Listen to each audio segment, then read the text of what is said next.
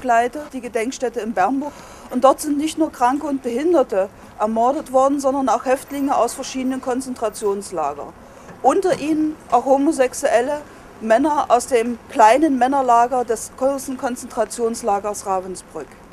Niemand von ihnen hat ein solches Schicksal verdient und ich denke, es liegt ein Stück weit an uns, zu verhindern, dass nochmals Menschen solche Leiden durchmachen müssen.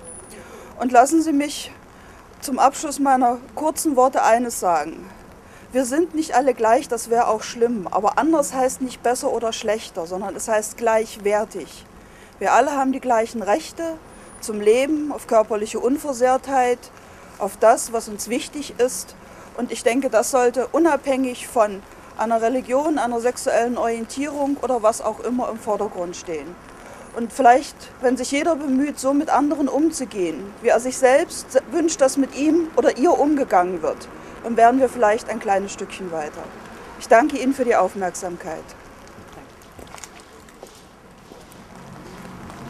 Sung Ling Li wurde am 7. März 1904 in Kanton in China geboren. 1940 wohnte er in der Prälatenstraße 16 in der Altstadt Magdeburgs. Er war Arbeiter, 1,61 Meter groß und von untersetzter Gestalt.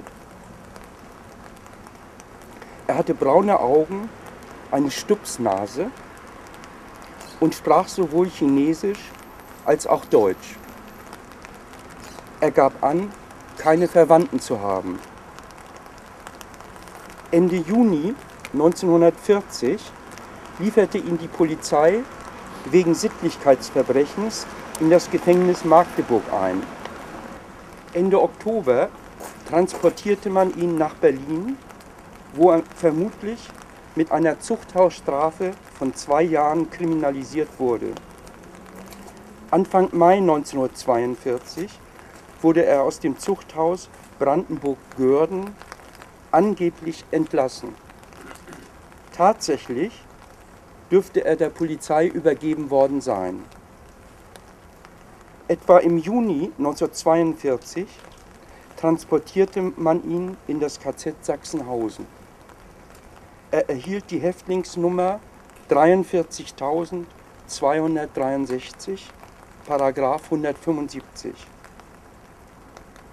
Sehr bald wurde er mit fast allen Schwulen aus dem KZ Sachsenhausen weiter in das Außenkommando Klinkerwert transportiert. Dort ermordete die SS zwischen Juli und September 1942 gezielt etwa 180 bis 200 Rosa-Winkel-Häftlinge, also Schwule. Am Freitag, den 17. Juli 1942, wurde auch Sum Ling Li zusammen mit acht weiteren Homosexuellen ermordet. Im Sterbebuch Oranienburg wurde folgende Todesursache verzeichnet.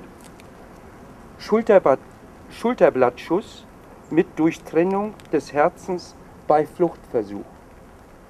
Offenbar wurde er von hinten schräg oben erschossen. Er war nur etwa einen Monat im KZ und starb im Alter von 38 Jahren.